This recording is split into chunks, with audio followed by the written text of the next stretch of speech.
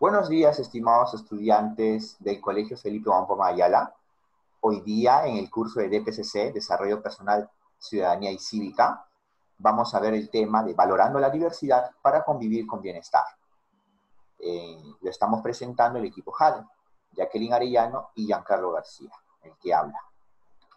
Muy bien, estimados estudiantes, tenemos los saberes previos y conflictos cognitivos que se basan por medio de preguntas. Y me gustaría preguntar a la alumna Jade, ¿qué sabes de la diversidad? Eh, buenos días, profesor. Buenos días, Jade. Mm, bueno, al hablar de diversidad nos referimos al conjunto de cosas eh, que se encuentran en una determinada, digamos, ciudad, localidad, incluso podríamos hablar de diversidad cultural, diversas formas de expresarse. Mm, interesante, muy bien, Jade. ¿Y qué sabes del sincretismo cultural? Ay, de eso sí no, no he escuchado, profe. ¿Y qué tal si yo te digo que alguna vez has escuchado o has disfrutado de un guayno? Oh, sí, muchas veces. Ahora viene mi pregunta, Jade. ¿Tú crees que el guayno con esos instrumentos o con el arpa como por ejemplo puede ser flor pileña. Este, el arpa lo usaban los incas, es un instrumento que usaban los incas, Jade, ¿tú que sabes un poquito de historia? Eh, la verdad, no sé, profesor. No estaría segura, ¿no? Pero yo te digo... No, no, no estaría segura desde qué época este, usan ese tipo de instrumentos, ¿no? Porque hasta donde yo sé, pues antiguamente se, ellos mismos elaboraban sus propios instrumentos a base de materiales que tenían a la mano. Y no sé desde qué época pudieron haber ellos también utilizado el arpa o quizá otros instrumentos como la guitarra, no lo sé. Claro, pero yo estoy mencionando la cultura inca, la cultura inca antes de la llegada de los españoles. Entonces ellos no tenían guitarra, ellos no tenían arpa. ¿sí? Eso quiere decir que el arpa, la guitarra, vino con la, con, cuando vinieron a invadir los españoles. Exacto, pero porque mm. surge, porque es la mezcla de dos culturas, la cultura inca y después la cultura occidental, en este caso la española. Y eso es el sincretismo cultural, pero lo vamos a ver con detalle cuando abordemos esos temas. ¿Sí, Jade? Oh, me interesa porque es un término nuevo para mí. Muy bien, sincretismo cultural. ¿Cómo podríamos valorar la diversidad, Jade, en tu opinión? ¿Cómo podríamos valorar la diversidad? Mm, bueno, respetando y tolerando las diversas formas de expresión que tenemos en nuestro país, ¿no? Mm, muy bien. Como recordemos, estos son los saberes previos y los conflictos cognitivos son las dudas que van surgiendo. En este caso, Jale, tú has expresado un conflicto cognitivo con lo que era sincretismo cultural y ya, de una u otra manera, se ha podido abordar. Pero lo vamos a reforzar con las siguientes diapositivas. ¿Sí? Sí, porque me sigo quedando con esa duda de saber qué es el sincretismo cultural y por qué usted menciona, eh, no sé, por ejemplo, el guayno, ¿no? Y, el arpa. Me gustaría saber. O sea, sigo ahí pensando, ¿por qué? Entonces sigue sin conflicto cognitivo. Exacto. Bien para que la clase sea significativa para ti. Oh, entonces, mm, más aún, me interesa el desarrollo de esta clase para poder salir de dudas, profesor. Muy bien, pronto vas a salir también de la clase, cuando cabe. Muy bien. Tenemos, ¿qué es la cultura? Esto ya es recurrente en las clases de DPC y de tutoría. En DPCC y tutoría hemos visto muchas definiciones de cultura, pero la que nos trae en esta ocasión la clase es la definición del diccionario. Es un conjunto de modos de vida y costumbres, conocimientos y grado de desarrollo artístico, científico, industrial en una época o grupo social. Entonces, cultura son todas las manifestaciones que hace el hombre en una sociedad podemos hablar de cultura y manifestaciones culturales como son la gastronomía, la música, como es el caso del guayno que te puse, Jade. ¿Sí? Oh, sí, profesor. Volviendo a su anterior diapositiva. Ya. Y cuando, cuando hablaba de, cultura, justamente en la clase pasada hemos trabajado ese tema con la Miss Jackie. Y este, algunos de mis compañeros tenían dudas sobre si el deporte, básicamente el fútbol, era parte de la cultura. Y algunos de mis compañeros dijeron que no, porque simplemente solamente era un deporte. Pero yo pienso que sí. No sé si usted nos podría sacar de duda. Muy bien, vamos a salir de dudas porque si vemos la definición que son los conocimientos no solamente científicos y no solamente artísticos, son los conocimientos de una época, de un grupo social.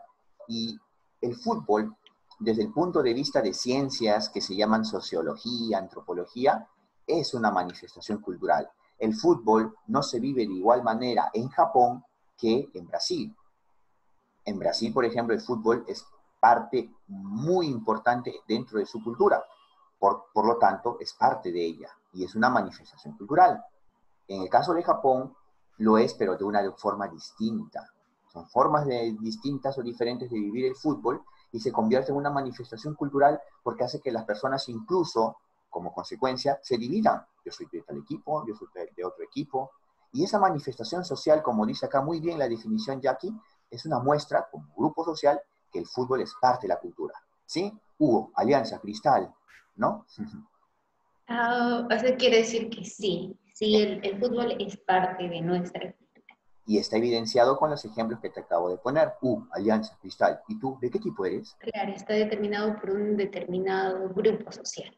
Exacto, con sus propias características, sus propios gustos. ¿Ves? Mm, claro, ya, ya, perfecto, gracias. está muy bien que preguntes. Vamos con las características de la cultura. En primer lugar, la cultura es aprendida porque se compone de hábitos adquiridos por cada persona, ¿no? A través de su experiencia. Un ejemplo puede ser cuando uno aprende a saludar con la mano en una sociedad. Los japoneses no saludan con la mano. Los japoneses saludan inclinándose ante una persona. ¿Ves que eso es un asunto cultural? El saludo. Y es aprendido, mm. porque lo aprenden en su sociedad, en su cultura, ¿sí? Ok.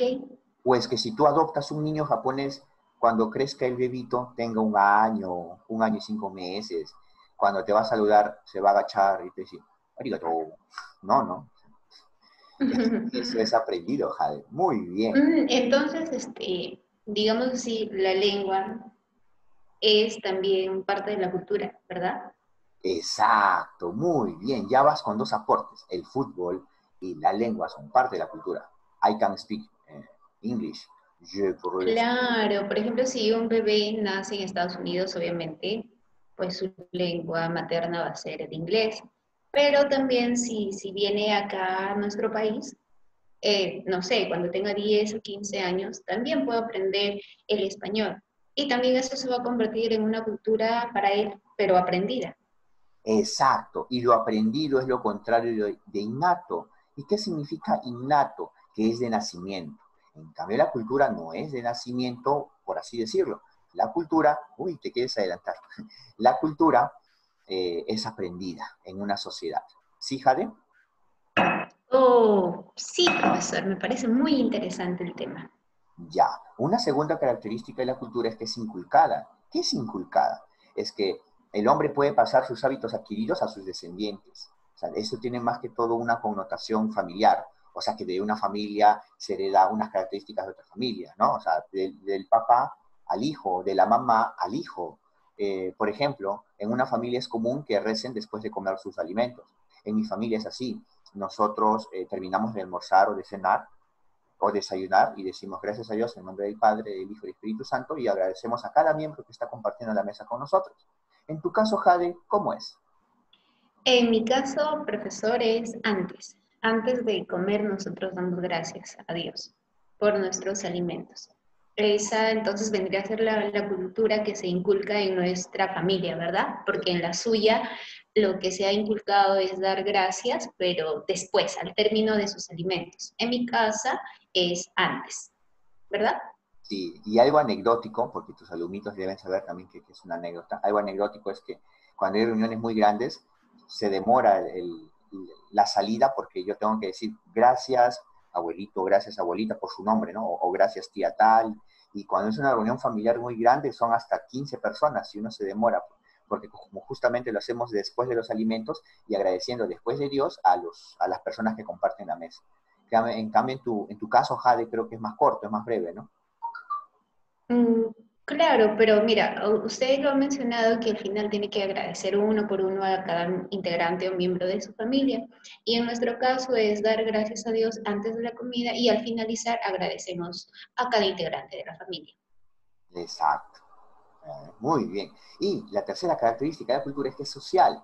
¿Por qué? Porque son compartidos por los seres humanos, por las personas que viven en sociedades y grupos organizados. Por ejemplo, eh, al realizar una yunza por motivo de una celebración social. Hay muchas formas de celebrar. Algunos celebran con bebidas como el vino, como la cerveza, otros celebran de otra manera. hay muchas formas de celebrar y es que la cultura tiene un componente y una característica, es que es social. ¿Sí, Jade?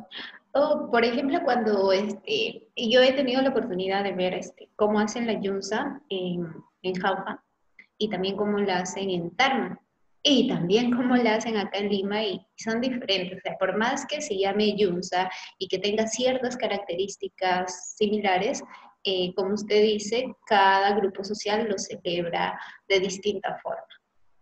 Muy bien, me has hecho correr de Jauja. Ya será momento para visitar. Diversidad mm, Entonces la cultura tiene estas tres características, ¿no, profesor? Incluso puede tener más, pero puede haber una clase sobre cultura 1, 2 y 3. Es muy amplia la cultura Jade. Ah, pero estas son las que vamos a tratar el día de hoy, que es aprendida, inculcada y sobre todo social, ¿no? Exacto, muy bien. Aprende paso a paso. Muy bien. Muy bien. Entonces, dentro de esa diversidad cultural tenemos retos y posibilidades. ¿Por qué? Porque esta diversidad cultural nos permite desarrollarnos como país y no es que sea motivo de discriminación. Y eso hay que recordarlo muy bien, Jade. Por ejemplo, hay que recordar que la diversidad cultural es una oportunidad ya que permite establecer relaciones armónicas y de respeto entre los pueblos de un país. Es decir, tenemos que respetarnos entre nosotros a pesar de las diferencias culturales. También nos permite construir escenarios donde se valoren las diferencias, estas diferencias étnico-culturales. Étnico se refiere a cada pueblo, ¿sí? Y también eh, ayuda a reflexionar sobre los modos en que es pensado y vivido el bienestar por las personas y los pueblos. Es decir, si bien hay diversidad cultural, pero hay que siempre pensar en que tenemos que todos los pueblos estar bien, tenemos que vivir en bienestar, y la diversidad cultural, como algunos piensan, oh, pero que es un problema que la gente hable quechua, que hable aymara, que hable ashaninka. No, hay que recordar que tiene un potencial enorme para enfrentar la exclusión y la discriminación. Esta diversidad cultural es una ventaja y una bendición que tiene el Perú. Y sobre todo nos permite una convivencia donde reconozcamos los aportes de todos en cuanto a la historia de la construcción de este país. ¿Sí, Jade? Mm, sí, profesor, me parece interesante, sobre todo eso de que usted dice, ¿no? De que no debemos discriminar y respetar, porque así como nosotros tenemos derechos, ellos también tienen derechos. Y esas clases también lo hemos estado desarrollando en, este curso. Muy bien, sí, los deberes y los derechos. ¿Qué es el sincretismo cultural? ¿No? La duda que tenías. Oh, sí, lo que yo estaba, no salí, no sabía. Y mira, de repente sales acá en la imagen, porque también hay dudas, ¿no? sí, profe, así, así estaba, pero ahora voy a aprender. Muy bien. ¿Qué es el sincretismo cultural? Es la fusión o mezcla de elementos culturales provenientes de dos o más culturas originales. En el ejemplo anterior, te puse el ejemplo de los incas con los españoles. Entonces, ¿qué sucede en el Perú? Llegan los españoles, eh, comparten con los incas y justamente sucede esto, que comparten su cultura, se van mezclando. ¿Tú sabías que los antiguos incas adoraban a cada montaña o a cada cerro y le llamaban apus? Apus, sí, eso sí lo sabía. Muy bien, tienes una buena profesora de ciencias sociales. Entonces, pero llegan los españoles y los españoles eran católicos y los católicos querían que los incas ya no crean en esas formas, querían que sean católicos y que crean en Dios, simbolizado en imágenes. en imágenes, simbolizado por la cruz. Yo no digo que está bien, yo respeto que tenemos estudiantes y padres de familia que tienen otras creencias, pero estamos nosotros explicando la historia que sucedió en ese tiempo. Entonces, este, los católicos lo que hicieron fue a cada montaña o a cada apu le pusieron una cruz y convirtieron a ese apu en una fiesta, en una celebración en honor a esa cruz. Entonces tienes Cristo de Pachacamilla, Cristo morado, Señor de Luren, Señor de los Milagros, o también tienes vírgenes, Virgen de Chapi, ¿sí? Señor de Oh, claro. Entonces, eso quiere decir que con la llegada de los españoles, los incas empezaron, o desde ahí este, se comienza a hacer celebraciones o fiestas patronales, lo que lo conocemos ahora. Sí, Y que eso tiene su origen en que cada pueblo, cada ayu, tenía su propio apu, su propio guamaní, y creía en ellos. ¿Ves cómo es el sincretismo cultural en el Perú? ¡Wow! Mm, interesante, profe. Entonces, con el mestizaje surgió una cultura nueva que tomó elementos españoles e indígenas, dando origen a un proceso de sincretismo cultural. ¿Y qué es el sincretismo cultural? La mezcla de distintas costumbres de los españoles o los incas o de cualquier otra dos culturas, ¿sí? Ah, ya puede ser de cualquiera otras dos culturas, pero usted está hablando básicamente de nuestra cultura este, inca y cuando llegaron los españoles. Puede haber lo mismo en otros países. Pues qué tal. Yo te digo de los, de los japoneses, eh, de, la comunidad Nikkei o de la comunidad china, eh, la comunidad eh, que al venir al Perú, su comida se fusionó con la comida peruana. Y como la comida es una manifestación cultural, Ahora puedes disfrutar de un rico chifa o de un rico mostrito. ¿Te das cuenta?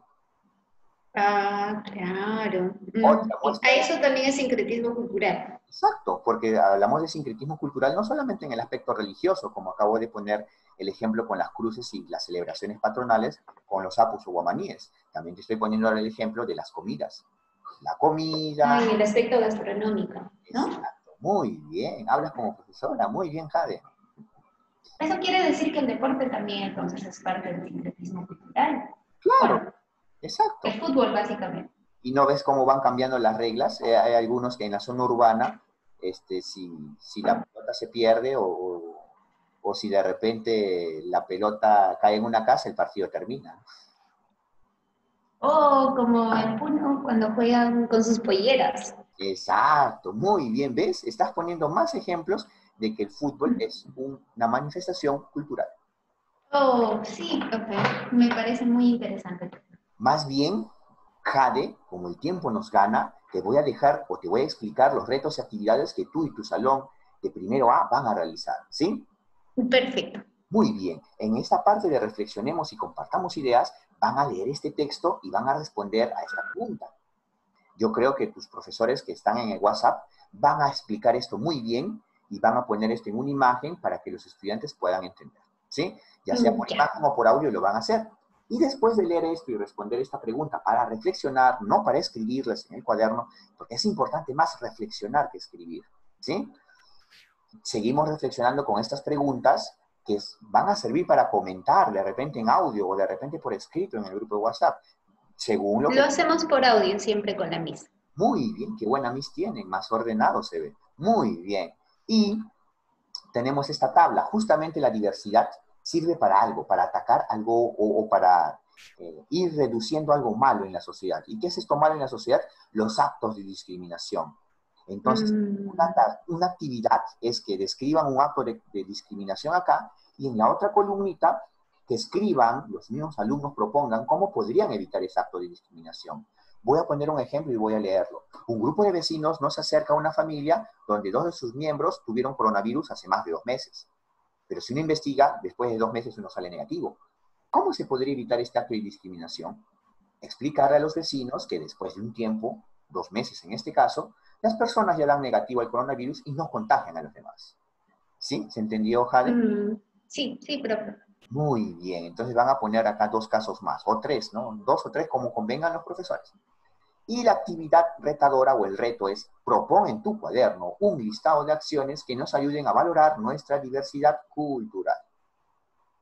Eso lo podemos hacer este, incluso con la ayuda de nuestros familiares, ¿no, profe? Exacto, como es un reto, queda como una actividad de extensión o lo que se llamaba comúnmente la tarea.